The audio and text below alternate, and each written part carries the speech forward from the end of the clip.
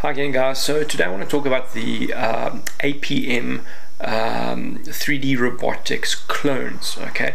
Now there are plenty of them floating around. Um, I've even got one um, you can get uh, from Hobby King. They have one uh, which they say is based on the APM 3DR um, uh, 3D robotics uh, uh, one. Uh, there's a lot of them on eBay, and they actually call them APM Arducopter or Ardupilot, whatever it is, uh, 2.6 or whatever 2.9, um, and they are a lot cheaper. Okay, you can pick up um, online, I think about on eBay for about 110 120 bucks with a GPS it's not the the U uh, blox uh, 6 Lear uh, but it is um, it's the one below that. Um, but if you add that one I think it comes to about 135 dollars. Now you compare that to the 240 250 dollars that the 3DR is it's you're saving 100 dollars. Um, so the question is is it worth it? Okay I've well the Hobby King one um, is also I think with the with that GPS combination comes very very very close to those prices as well. Um, might be a bit cheaper, I'm not sure, but um, I've heard people have problems with it. Okay, with that uh, with that one. Sometimes it works, some some don't. Um, and the same thing with the eBay ones. And I think the reason for that is is basically two things: it's quality control uh, on the product and the way it's put together. Um, you know what I mean by that is that the type of parts that they use okay? Quality control means the way it's put together the way um, they check all the soldering and everything and all of that. And the other thing is basically what parts are they using okay? Um, what quality parts okay? So that's not the quality control that's the actual quality of the parts themselves now I can tell you the 3DR or 3D robotics I've not heard one person have an issue with it.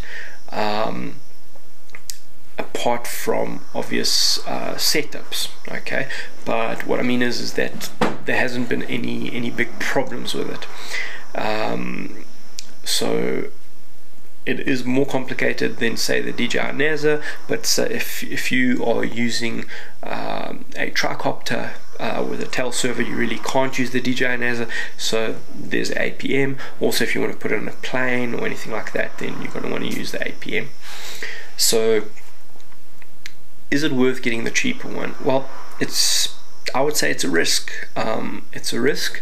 Uh, I can tell you my experience. The one I got is one of the ones off eBay. Uh, the 3DR robotics one I've got works great. The one I got off eBay, I don't know what happened. Uh, I used it on the tricopter. I'll take it up, and what the tricopter does is I'll pull elevator forward. It goes forward. I pull back, fine, side, side, no problem. Move it around. All of a sudden, uh, I'll pull backwards and it'll go this way I'll pull forwards and it'll go this way I'll pull left and it'll go like this I'll pull right and it'll go like that and uh, and, and then I'll fly it around a bit and all of a sudden it goes back to normal. Now my from what I think happens is basically the board itself inside the the box that it comes in is actually a bit loose. Uh, if you pull on the servo wires you know the board actually moves um, which obviously if you fly it around and uh, and the board just gets a bit of a jitter. It could just go out of whack a bit and that's why it causes that sort of uh, misorientation. So what I'm going to do is put in the uh, put in some foam in it so that it cannot move uh, at all uh, and that should fix it. Um, I'll, I'll keep you posted on that. But this is exactly the, the point is that you're not going to have these problems uh, with um, with the 3D 3D uh, robotics one. So again um, 100 bucks more you're getting reliability you know it's going to work. So uh, also for airplanes uh, same thing. If you if you get a knockoff version it could fail and usually when you get something like that with GPS it's for that uh, fail safe. Uh, you don't want to have any problems. So I would say spend the extra money. Uh, the one I've got I'm using uh, but I've also got the 3DR uh, and I'm going to only get that one from now on. And that's pretty much it. Anyways guys thanks for watching.